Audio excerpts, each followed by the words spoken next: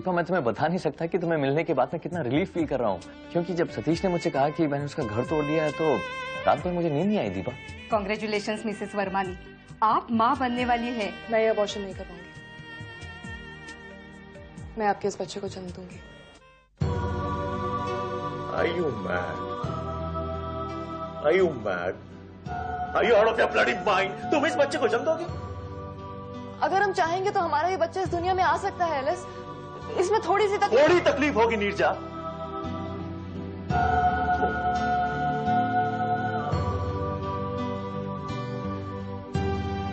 तो बच्चा तुम्हारा प्यार है मेरा कोशिश करके मैं दुनिया से छुपा लूँगा। जब वो आएगा तब दिखेगा लोगों को आँखों के सामने। इतना बड़ा पेट ले घूमोगी तब बोलोगी क्या लोगों से? मैंने सारा दिन यही तो सोचा है। और जब हो जाएगा बच्चा तो क्या बोलोगी? किसका बच्चा? आप मेरी बात तो सुनिए एलिस. Please Alice.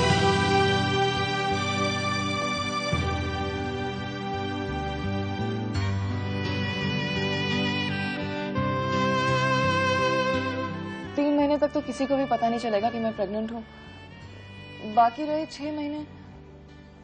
अभी कुछ ही दिनों पहले कॉलेज में स्टूडेंट एक्सचेंज के बारे में निकला था। अगर मेरी परसेंटेज सेवेंटी परसेंट के ऊपर होगी तो मैं आगे पढ़ने के लिए पूना के लॉ कॉलेज में एडमिशन ले सकती Oh, हूँ नीरजा. तुम्हें मालूम ही नहीं है तुम क्या बोल रही हो। तुम्हें लगता है तुम बच्चे को छुपा सकती हो? मान लो तुमने बच्चे को छुपा लिया फिर उसके बाद बच्चे का क्या होगा? मैं लौट कर आकर कह दूँगी कि मैंने बच्चा गोद लिया है। और लोग मान जाएँगे। कितने ही लोग ऐसा करते हैं एलिस। लड़कियाँ शादी नहीं करती मगर बच्चा गोद ले लेती हैं। नीरजा नहीं नीरजा। ये बच्चा हमें नहीं चाहिए नीरजा।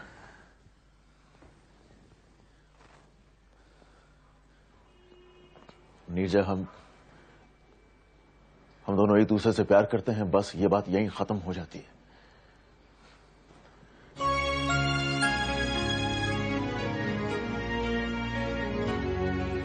ये बदकिस्मती है हमारी कि हम खुल के दुनिया के सामने नहीं आ सकते हैं ढिंडोरा नहीं पीट सकते हैं।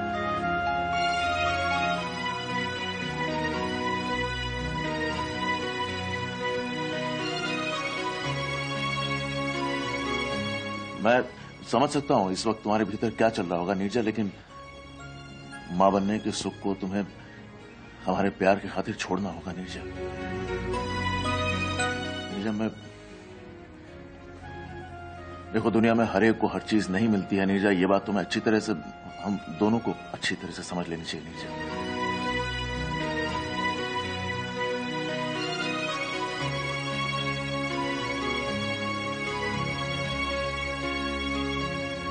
नीरजा।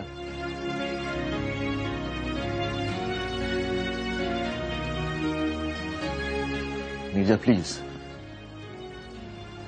प्लीज़ मुझे कुछ टाइम के लिए अकेला छोड़ दीजिए।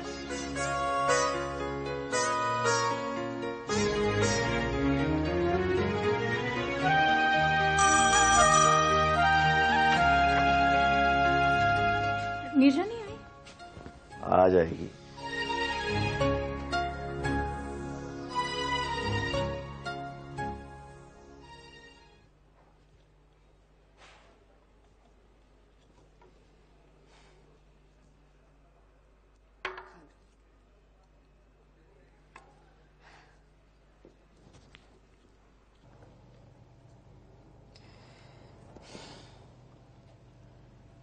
खाना तो खा ले यार ठंडा हो जाएगा। बस थोड़ी देर में। जब से आई हूँ तब से देख रही कि तू तो चुप है। अनुराग आया था ना सुबह? उसी के बारे में सोच रही थी। क्या? उसने कहा कि उसे उसे? उसे क्या? उसे अच्छा लगता है मेरे साथ। मैं तब से यही सोच रही थी कि पाँच साल पहले मुझे उसके साथ होना बहुत अच्छा लगता था। कोशिश कर रही थी कि देखूँ क्या आज भी वो तब का अच्छा लगना कहीं बचा है मुझमें? तो क्या दिखा तुझे? पता नहीं। आज बहुत कुछ बदल गया है। पता नहीं प्रिया आई एम सो कंफ्यूज्ड तो फिर अगर तुम्हें इस कंफ्यूजन को दूर करना है तो मिलके देखो उसे। हाँ शायद। सोच रही हूँ कि कल कल जाऊँ उसके पास। ज़रूर जा। लेकिन इस बार संभाल के कदम उठाना। दूध का जला छाछ में फूक फूक के पीता है। और मैं तो पाँच साल की जली हूँ।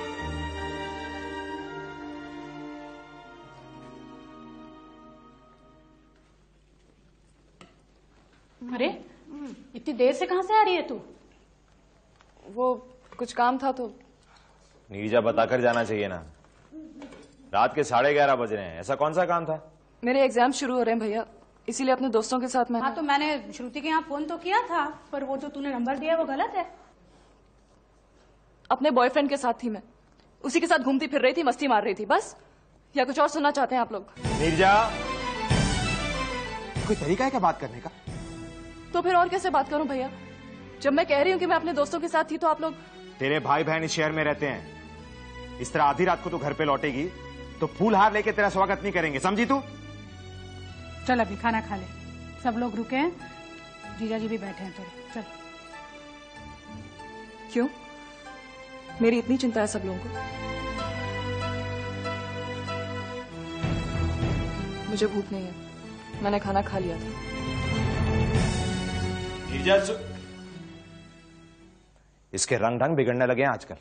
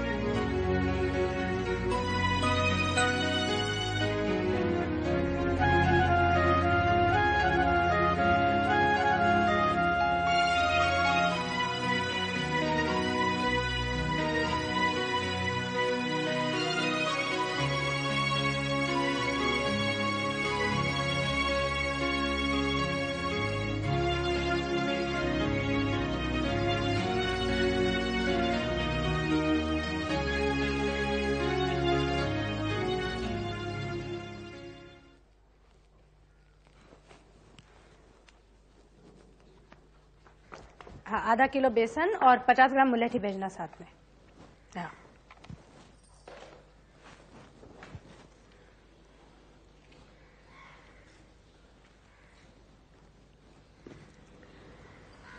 चाय पियोगी? देखो, अपने ही चिंता करते हैं और अपने ही गुस्सा होते हैं। इसलिए अपनों की बातों का कभी बुरा नहीं मानना चाहिए। हम्म? बड़ी देर से उठी तू आज? हम्म? चल जल्दी से चाय पी ले। तुझे कॉलेज आज बस से ही जाना होगा। ये सुबह ही चले गए ना? क्या? जीजा जी चले गए? हाँ बोल रहे थे कोई काम है। मैं चाय बनाती हूँ तेरे लिए। काम वाम कुछ नहीं होगा। सुबह मुझे अपने साथ नहीं ले जाना चाहते थे इसलिए छोड़कर चले गए किंतु क्यों उनसे ऐसी अनहोनी बात के लिए लड़ रही है? तू बच्चा कैसे पैदा कर सकती है? जैसे और माए करती है। तू और औरतों जैसी नहीं है नीजा तेरा रिश्ता नाजायज है और तेरा बच्चा भी नाजायज होगा। मुझे ना तो अपने रिश्ते पर समाज का ठप्पा चाहिए और ना ही अपने होने वाले बच्चे के लिए। वो बच्चा मेरे भीतर ज़िंदा है श्रुति। मैं दूसरों के लिए तो उसको नहीं मार सकती ना। नीजा वो आदमी उनके बारे में सोच रहा है जो आज ज़िंदा है। लेकिन तू तो उसके बारे में सोच रही है जो आज आज कहीं नहीं है। सिर्फ़ तेरे ख्यालों में है।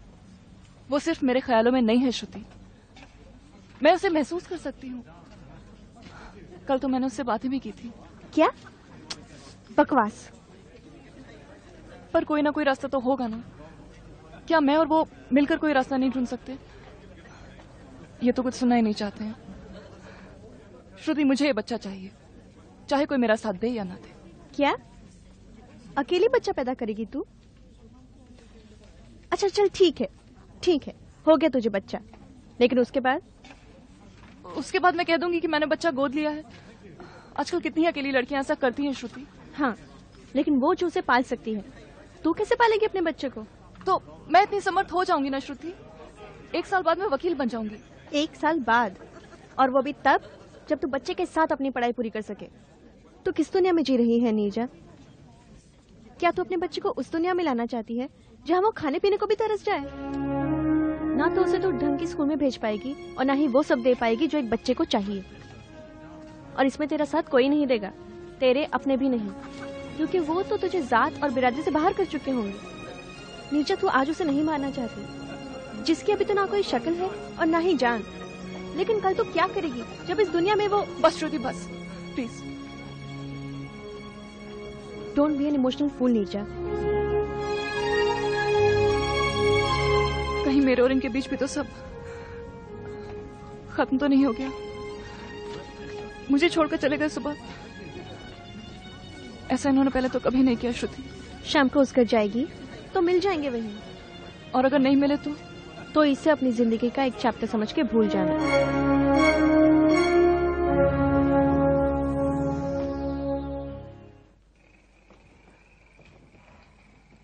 अरे वाह तुम तो एकदम एक्सपर्ट कुक हो गए हो। वैसा ही है। वक्त और मजबूरी आदमी को सब सिखा देती है। बाहर खा खा के तंग आ गया था इसलिए मुझे सीखना पड़ा। अच्छा है हर किसी को अपना पेट भरना आना ही चाहिए। सतीश को तो एक अंडा उबालना तक नहीं आता। कभी एक दो दिन के लिए बाहर जाओ तो सारा खाना बना के फ्रिज में रख दो। और वो भी गर्म नहीं होता उससे। ये लीजिए आपके प्याज के पकोड़े। अब मुझे बताइए। नमक ठीक है? हाँ ठीक है। घर का कोई काम नहीं करना। मैंने जब खूब लड़ाई की तो सब्ज़ियाँ खरीद के लाने लगे। और वो भी कैसी? भिंडी सूखी हुई गोभी में कीड़े लगे। और मटर ऐसे कि छीलो तो अंदर दाने ही नहीं। अब चाय अभी पियोगी या अब? बाद में पीते हैं ना। एक बार तो कमाल ही हो गया। हमारी तीसरी वेडिंग एनिवर्सरी थी। तो उसे लगा होगा कि कुछ सरप्राइज़ गिफ्ट देना चाहिए। तो बस, बिना मुझे कुछ पूछे, बिना कुछ बताए, लेके आ गए कहीं से गले का चोकर। और फिर वो रेस्टोरेंट में ले जाके वो सारा नाटक करना कि आँखें बंद करो। अब देखो क्या है। मैंने देखा तो सामने एक अच्छा सा, खूबसूरत सा दिखने वाला, लेकिन एक बहुत ही सस्ता सा गले का चोकर। मैंने सोचा, ये तो बहुत ही कंजूस निकले। एनिवर्सरी के दिन भी हज़ार, डेढ़ हज़ार का गिफ्ट मैंने जब उनसे पूछा कि कितने का है तो कहने लगे कि पूरे ग्यारह हज़ार का लेकर आए हो। मेरी तो जान ही निकल गई। समझ गई कि अपने आप को कहीं से ठगा के आ रहे हैं ऐसा है सतीश। चलो दीपा वहाँ जाके बैठते हैं। हाँ। उसके हाथ में घर दे दो तो सब कुछ बिक जाए। कुछ न बचे। ऐसा है वो। चलो अब तो सब कुछ खत्म हो गया क्या? सब कुछ खत्म हो गया ना अब? क्या खत्म हो गया?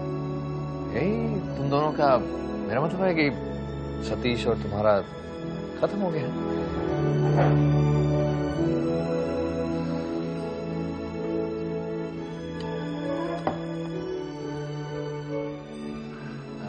खाओ ना।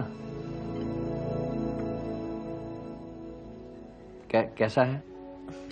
अच्छा है। पता है शादी के पहले साल दीपा कोई और बात करें? कोई और बात?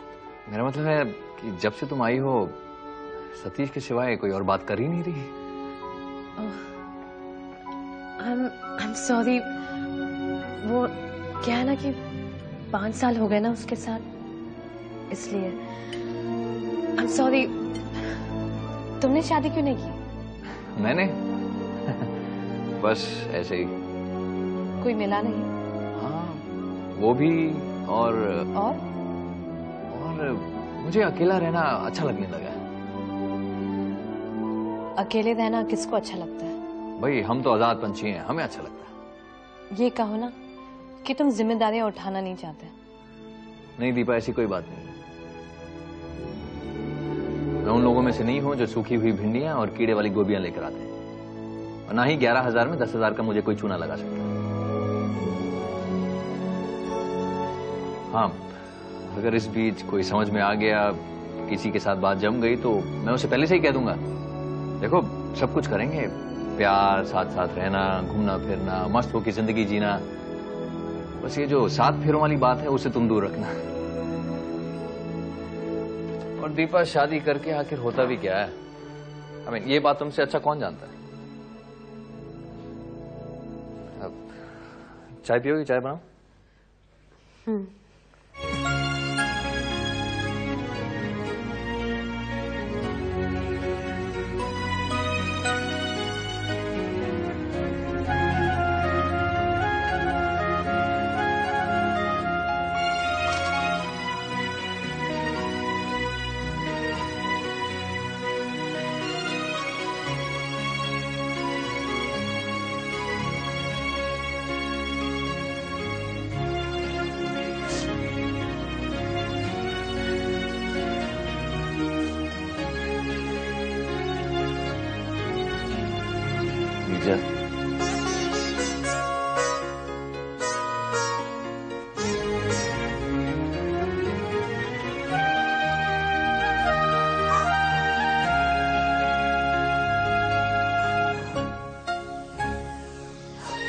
मुझे लगा आप नहीं आएँगे।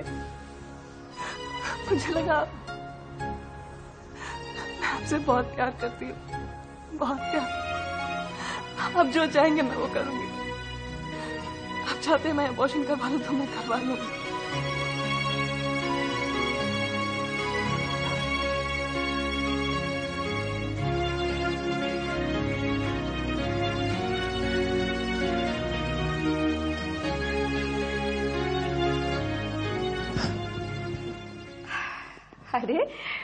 डरने की कोई बात नहीं है। और ये ऑपरेशन भी नहीं है। बस साफ़ सफ़ाई जैसी बात है। और उस वक्त बड़ी आराम से सोती रहोगी तुम। कुछ भी महसूस नहीं होगा तुम्हें। क्या उसको तकलीफ़ होगी? इसको बच्चे को। तुम दोनों ने सोच समझ के फैसला किया है ना? वो नहीं चाहते।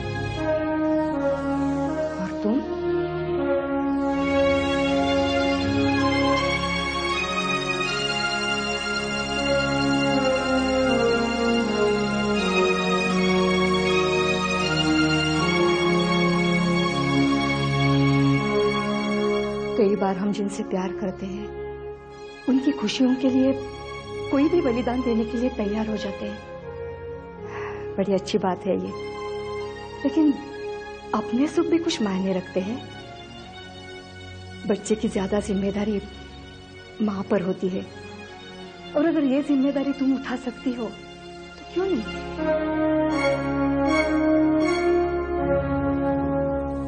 अच्छा है निर्जना से दी उसके लिए ये एक आसान डिसीज़न नहीं था। बच्चा होना एक बहुत ही बड़ी घटना होती है किसी भी लड़की के लिए। मैं जानती हूँ किस तरह अपने आप को मार कर आई है वो यहाँ। आई गेस इसी में सबकी भलाई थी। मिस्टर वर्मा जी आप दोनों एक दूसरे से एक बार फिर से बात क्यों नहीं करते? मतलब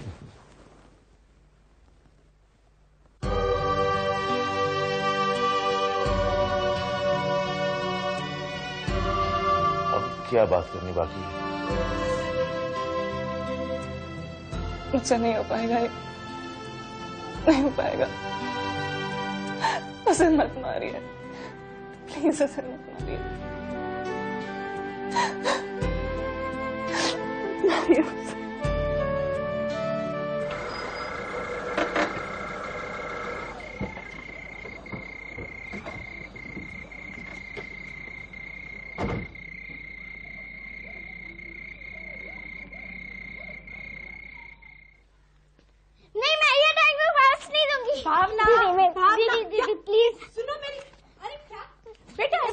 करते बेटा दे दो जल्दी सुनो दे दो ले लो जाओ वहाँ जाओ।